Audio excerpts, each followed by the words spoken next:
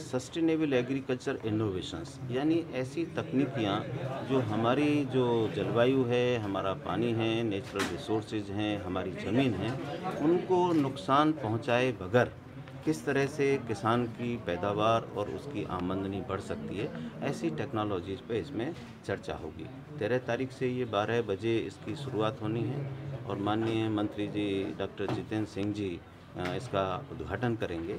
और इसमें जो प्रख्यात वैज्ञानिक हैं, कई देशों के, चाहे वो अमेरिका के हों, जर्मनी के हों, डेनमार्क के हों, केन्या के हों, नेपाल के हों, बांग्लादेश के हों, और वो बड़े सम्मानित वैज्ञानिक हैं जिन्होंने इस विषय पर काम किया है। वो यहाँ पर होंगे और हमारे देश के अपने करीब 300 वैज्ञानिक इसमें भाग ले रहे हैं। और आशा है कि इससे जो मंथन होगा और इससे जो रिकमेंडेशन निकलेंगी, क्योंकि ये अंतर्राष्ट्रीय परिप्रेक्ष्य में कार्यक्रम हो रहा है तो इसकी जो रिकमेंडेशन है, न कि सिर्फ़ भारत के लिए, अन्य देशों के लिए भी बड़ी सार्थक होंगी।